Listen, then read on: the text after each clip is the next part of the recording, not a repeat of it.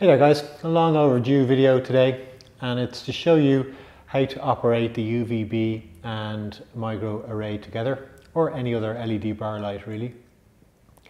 And so I've got one set up here. That's the uh, UVB. It's a two foot fixture, 60 centimeters long, 20 watts power consumption and will cover a four by four and even up to a five by five adequately. You can put them into a smaller size area as well, um, as long as you maintain the hanging height of about 60 centimeters or two foot above the plant canopy. You can put it into a smaller area and the trick with that is that the reflective walls will not reflect UVB. So you'll get the UVB directly down onto the plant canopy at the same intensity as in the center, for example, of a 4x4, um, but you won't get any reflected off the edges.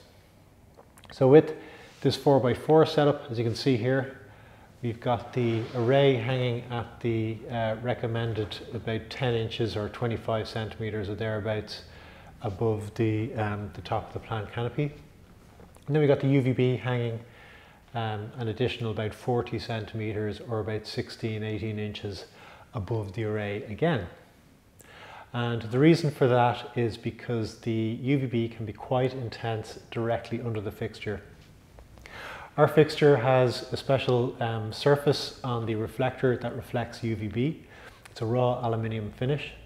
Lots of other reflectors will have um, very thin layer of plastic coating or, or paint uh, acrylic over the surface of uh, the reflective surface and this, bit like glass would do in a greenhouse, will block out the UVB and prevent it from reflecting. So with our fixture, you'll get a lot more UVB um, emitted from the fixture because the literally half of the UVB um, rays are going upwards from the fluorescent tube and then being reflected back down by the reflector, or at least most of them. So with this setup, you just got to be careful about the center point um, being too intense at the UVB, hence that pretty high um, recommended hanging height of, uh, as I said, two feet or 60 centimeters. At this height, we're going to simulate a level of UVB which will be very similar to um, sunlight, uh, which will be in the region of about 100, 120 uh, microwatts per centimeter squared. I'm using this Solarmeter UVB sensor to, uh, to measure. I'll go over and have a look now. Next thing just to talk about of course is safety. UVB will burn you over time.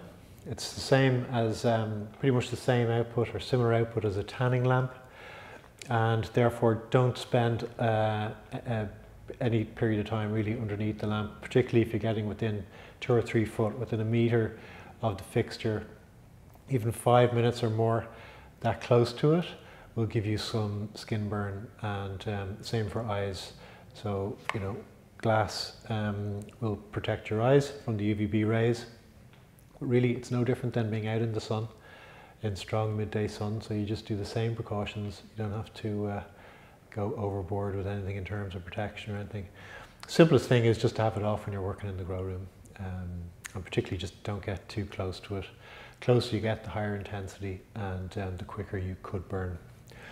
So yeah, let's have a look. We'll just, uh, just going to show you the readings um, for the UVB. So the principle here is that the um, UVB rays will pass through the ARAY 8 fixture here. You can see the ARAY 8 only covers, it's less than 20% of the surface area of the plant canopy or the total grow area. So 80% of the UVB rays are going to pass through. Some of course will be hitting the fixture and I'm going to show you later we've tested the UVB rays with the ARAY fixture to see is there any damage done to the fixture over long periods of time. I'm going to show you those results later on. But in the meantime, as you can see, 80% will be passing through. I'm just going to demonstrate the, uh, the UVB levels and how consistent they are um, in this setup. So I'm just going in for a short period of time, so you know but uh, I'm going to show you these readings. So hopefully you can see the readings here. So directly underneath a plant canopy level, we've got a reading of 200, so that's the highest intensity. And as we move over to the edges. Drops a little bit directly under the fixture, but there's still quite a lot getting past. And we move out to the edges and we're dropping off again underneath the fixture where the rays are. We're getting 60, 70 until that point. We do the same front to back. We got again, we've got the, the 200 at the, uh, the center. As we move forward, dropping to 150 now. It's about a, a foot away from the center, halfway. And then when we get right to the very edge, we still got 70 uh, microwatts per centimeter squared. So you can see there's consistent coverage uh, or consistent penetration of the UVB through the LED bar fixture and you can get a nice even spread of the UVB across your grow. In terms of timing and dosage and usage, I recommend um, last uh, three weeks of flowering for photos, last two weeks for autos. And um, that is because the UVB is there just to stimulate oil production in the plant. It will actually negatively affect growth. So it'll take energy away from um, putting on mass and bulk, which we want the plant to do right up through veg and, and into flowering. But it will divert some of that energy into generating oils to protect the plant and that results in increased flavonoids and terpenes which means increased flavour and taste. Lots of good anecdotal information or feedback from people that they're um, getting a good result from the fixture and also we've got some test results you can see on the website or the um, our Instagram page where we posted some of the results. So yeah, that's that's pretty much the basic setup. As I said, you can use this UVB in a smaller area. You can use it even in a 2 by 2 uh, Same period of time, um, so about a couple of hours per flower cycle, or per light cycle I should say, while flowering. And um, you will get the relatively high intensity in it, but not too high, because as I said, effectively a lot of the um, UVB photons will be wasted. They'll be going into the side walls and uh, not bouncing back onto the plant canopy.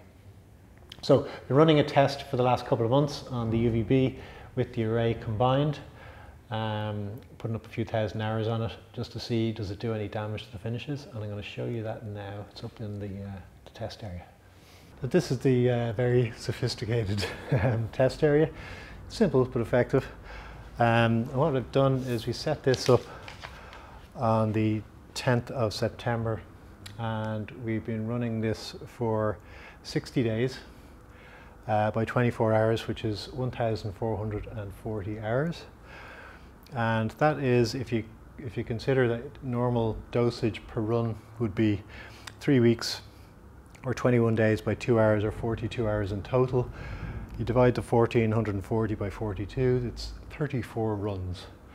So that's years and years basically of, um, of running time that we put into this. And what I've done is we have suspended, you can see that there, the UVB over uh, an ARAY 2. It's to sample a bit of material. And I'm going to switch it off now and uh, we will see what the result is. I obviously covered up a little bit of the material. I covered up a bit of the um, aluminium heatsink and I covered a little bit of the steel connector plate, stainless steel, which has an acrylic coating on it. I just want to see if there's any um, fading or damage done to that or the, uh, the silicone cable or the plastic gland. Now just taking it off here, the first thing I noticed, and uh, we'll just open it up here. is the box faded. So it definitely does have an effect on some pigments or colouring. You'll see here, hopefully you'll see here in the light. You can see, yes, you can see it.